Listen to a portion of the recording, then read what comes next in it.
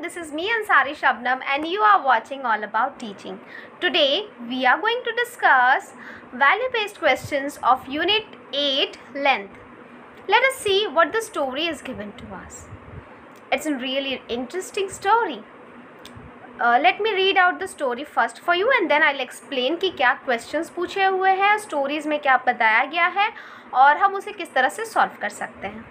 Let start Rohan and Shyam are good friends. Shyam is from poor family and Rohan's mother is a tailor. She stitches uniform for school children.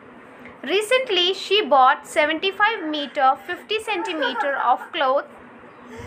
She stitched all the uniforms using 72 meter 25 centimeter cloth. With the remaining cloth, Rohan wanted his mother to stitch uniform for Shyam. His mother stitched the uniform and gave it to Shyam. दो friends हैं वो है रोहन और श्याम रोहन और श्याम बहुत अच्छे दोस्त हैं और श्याम जो है वो थोड़ा पुअर फैमिली से बिलोंग करता है और रोहन की मदर एक टेलर है वो कपड़े सिलती है और स्पेशली यूनिफॉर्म सिलती हैं बच्चों के लिए तो रोहन की मदर कुछ मीटर क्लॉथ्स के लाती हैं, उसमें से कुछ यूज़ करती है, कुछ जो बच जाता है, उसमें से रोहन उनसे अपने फ्रेंड के लिए यूनिफॉर्म सिलवाता है और वो लोग यूनिफॉर्म सोहन को दे देते हैं। अब हम देखेंगे कि इस पर क्या क्वेश्चंस दिए हुए हैं। Our questions are how much cloth was left to make Shyam's uniform तो जो टोटल उन्होंने लेंथ ख़रीदा था, उसमें से जितना यूज़ हुआ, हम सब्ट्रैक्ट करेंगे तो हमें आंसर मिल जाएगा। Second is in what other ways can Rohan be helpful to Shyam Rohan और कैसे हेल्पफुल हो सकता है? तो रोहन उसे और क्या क्या चीज़ें दे सकता है? जैसे वो स्टेशनरी का सामान दे, या फिर उसे बैग दे दे, या फिर उसे बुक्स दे दे।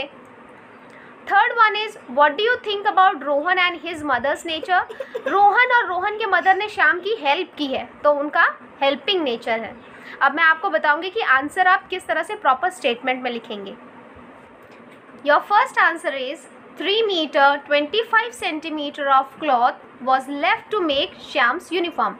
When you will subtract, you will get this answer.